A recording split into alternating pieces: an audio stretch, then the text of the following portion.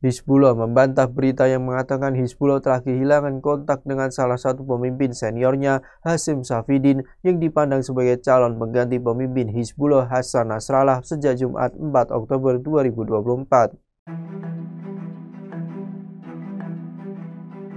Berita tersebut muncul setelah serangan udara Israel di lingkungan Dahiyah di Beirut yang mengutip sumber keamanan Lebanon.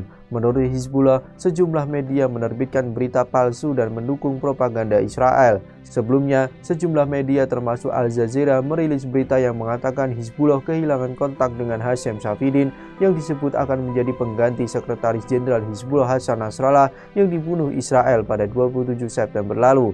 Hasim Safidin yang merupakan sepupu Hasan Nasrallah disebut menjadi sasaran pembunuhan oleh Israel. Selain itu, media Arab Awsat juga merilis berita tersebut. Sebelumnya, Israel diduga menargetkan Hasim Safidin dengan meluncurkan serangan berturut-turut di pinggiran selatan Beirut, Lebanon pada Kamis 3 Oktober 2024. Setidaknya Israel meluncurkan 11 serangan dalam aksi tersebut.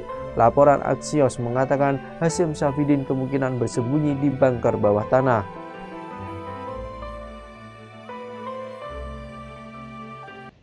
Jangan lupa follow, like, dan subscribe sosial media Tribun Jateng.